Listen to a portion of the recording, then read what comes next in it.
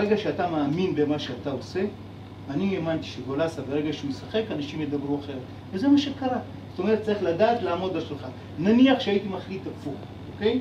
והייתי, ויש מקרים כאלה שאנשים בלחץ עושים טעויות. ואז אומרים, הכי קל לי ללכת עם הבעל הבית, הכי קל לי ללכת עם, ה, עם המדיה, אם אתה תעשה מה שהם אומרים. וזה לא יצליח, הם אוחזים במקל בשתי הקצוות.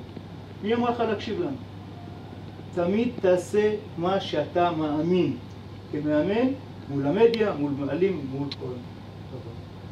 אז uh, באנו לכינוס לפני אלבניה, שזה היה משחק מאוד מאוד מאוד חשוב מבחינתנו, ובאנו הנה לשפיים, וביטון, שהוא ילד נהדר, באמת ילד נהדר, עשה עבירת משמעת. אחרי שעשינו זימונים והכל, הוא עשה עבירת משמעת שאני לא יכולתי לוותר. עכשיו, uh, uh, זה, זה הכל עניין של החלטה. כשאתה מקבל החלטה, זה, זה עשירית שנייה, כשאתה מקבל החלטה, לפעמים זה להחליק את זה. היו הרבה מאוד פעמים ש, שהחלטתי, תמיד יש בעיות משמעת. שאלה מה. ואז החלטתי שאני אה, לא, הוא לא יבוא איתנו לאלבניה. זו הייתה החלטה מאוד מאוד קשה, שבגלל שהיא הייתה נכונה, זה מאוד משפיע על כל חדר הלבשה. זאת אומרת, אנשים אוהבים סדר. שחקנים, אזרחים, אוהבים סדר. כשאתה לא עושה מה שצריך, אתה מאבד נקודות כמאמן.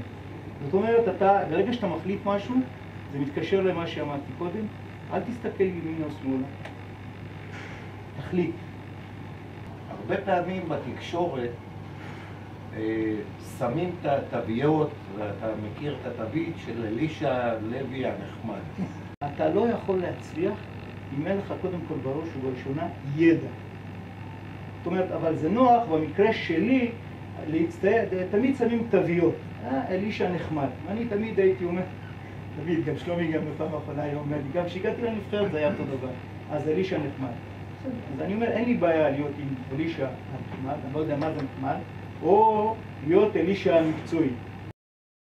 זה לא משנה מה אנחנו אומרים, בוחנים אותנו לפי המעשים שלנו. זאת אומרת, אולי זה משנה כדי לקדם, כמו שאמרתי קודם, אבל בסוף אתה נמדד בהחלטות שלך. זאת אומרת, אם אתה תדבר על משמעת, ואנשים יעשו עבירות, ואתה לא תגיד, תגיד, הוא מדבר. אני מהפוך, אני כשאני מחליט משהו, אז, אז אני מבצע. אז חשוב מאוד מאוד מאוד מה אתם עושים, לא רק מה אתם אומרים. אתם מבטיחים משהו, אפרופו אנחנו מדברים על חדר הבשה להורים, ילדים, זה לא משנה. מבטיחים, תקיימו. קודם כל, אם יש לך 20 שחקנים וזה, אין דבר כזה שאתה לא מתייחס לכולם, כולם אותו דבר.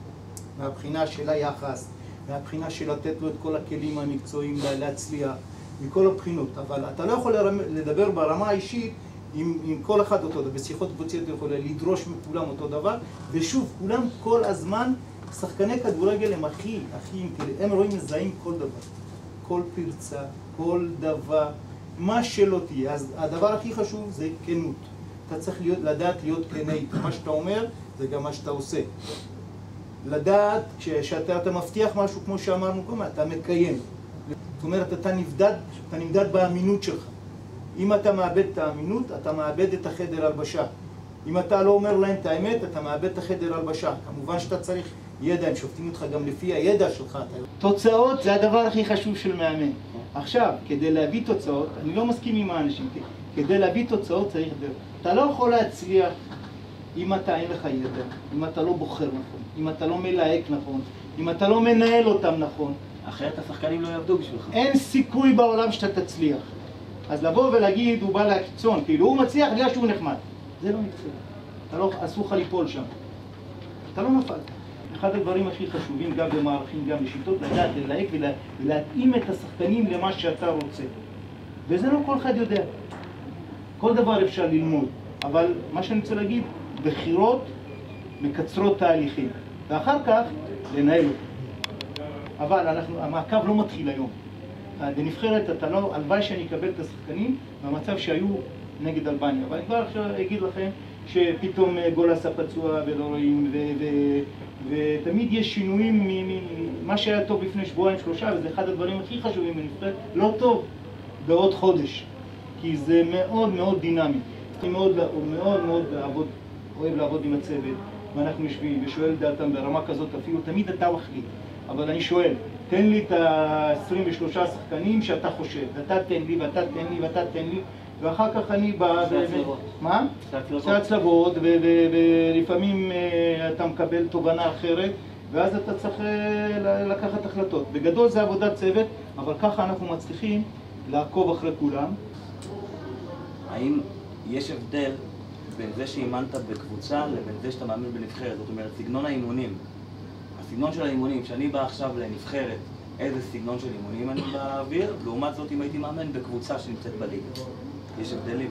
ברור שיש הבדלים. קודם כל, אה, אחת הפריבילגיות של מאמן זה לדעת אה, להאמין בשחקן שלו. נתתי לך את הדוגמה של גולסה, שהוא הוא, הוא היה לו דקות בטרומונה, אבל הוא לא היה שחקן הרכב במכבי תל אביב.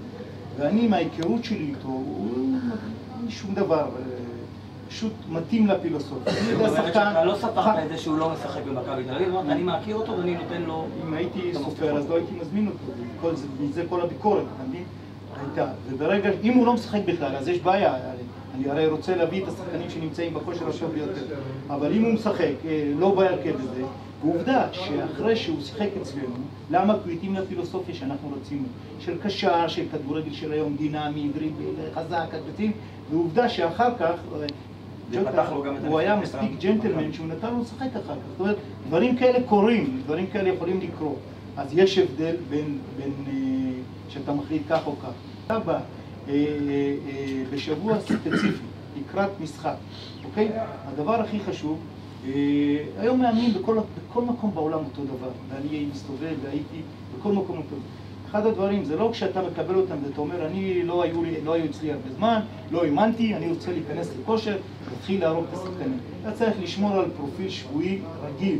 זאת אומרת, להביא את אחד הדברים הכי חשובים זה להתעסק בטקטיקה, רוב- האימון הופך להיות טקטי. לעומת הקבוצה שאני משחק מולה.